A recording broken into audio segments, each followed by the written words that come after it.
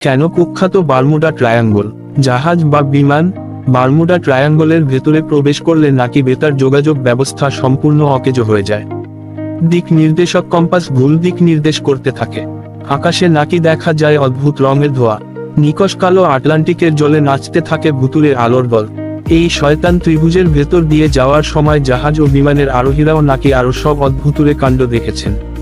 সমুদ্র থেকে উঠে আকাশ ছুঁয়ে ঘুরছে অতিকায় জলস্তম্ভ। সমুদ্রের বুকে উঠছে নামছে ভিনগ্রহের প্রাণীদের অদ্ভুত সব মহাকাশযান। কেউ বলে জল থেকে মাঝে মাঝেই আকাশে উঠে আসে আগুনের প্রকাণ্ড এক গোলা।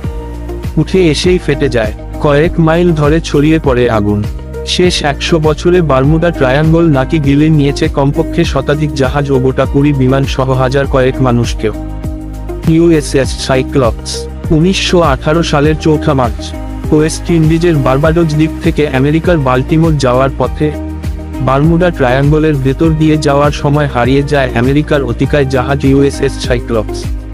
জাহাজটিতে প্রচুর পরিমাণে ম্যাঙ্গানিজ ছিল। জাহাজটি তিনশো নয় জন নাবিক আর টন টন ম্যাঙ্গানিজ নিয়ে চিরতরে হারিয়ে যায় বারমুডা ট্রায়াঙ্গলে। আমেরিকার নৌ ইতিহাসে যুদ্ধ ছাড়া এত বড় ক্ষতির সম্মুখীন হয়নি আমেরিকা।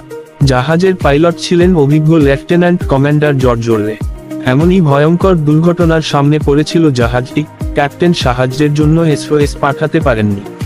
কয়েক মিনিটের মধ্যেই ক্যাপ্টেন আর নাবিকদের নিয়ে ডুবে গিয়েছিল ইউএসএস সাইক্লপস।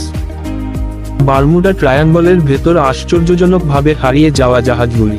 আঠারোশো সালে গুয়াদালুপি থেকে দেলাওয়ার যাওয়ার পথে নব্বই জনকে নিয়ে ডুবে যায় ইউএসএস পিকেরিং নামের জাহাজটি। আঠারোশো বারো সালে সাউথ ক্যারোলিনার চার্লস্টন থেকে নিউ ইয়র্ক আসার পথে ত্রিশে ডিসেম্বর হারিয়ে যায় প্যাট্রিয়ট নামের মার্কিন জাহাজটি সাতষট্টি জন আরোহী নিয়ে। আঠারোশো চোদ্দ সালে একশো চল্লিশ জন আরোহী নিয়ে ডুবে যায় মার্কিন জাহাজ ইউএসএস ওয়েস্টপি জাহাজটির শেষ নথিভুক্ত অবস্থান ছিল ওয়েস্ট ইন্ডিজের অদূরের বারমুডা ট্রায়াঙ্গলের জলভাগ। আঠারোশো চব্বিশ সালে কিউবা থেকে টমকিন্স আইল্যান্ড যাওয়ার পথে ডুবে যায় মার্কিন জাহাজ ইউএসএস ওয়াইড, একত্রিশ জন আরোহী নিয়ে। আঠারোশো চল্লিশ সালে রোজালি নামের একটি জাহাজকে পরিত্যক্ত অবস্থায় পাওয়া যায় বারমুডা ট্রায়াঙ্গলে। জাহাজটিতে কেউ ছিলেন না, সমুদ্রে একাই ভেসে বেড়াচ্ছিল। জাহাজটির কর্মীদের খোঁজ মেলেনি। আঠারোশো একাশি সালে এলেন অস্টিন নামে একটি জাহাজ। বারমুডা ট্রায়াঙ্গলের মধ্যে একটি নামহীন জাহাজ খুঁজে পায়। প্রথম জাহাজের কর্মীরা পরিত্যক্ত জাহাজটিকে চালিয়ে তীরে নিয়ে এলেও সন্ধান মেলেনি নাবিক ও ক্যাপ্টেনের।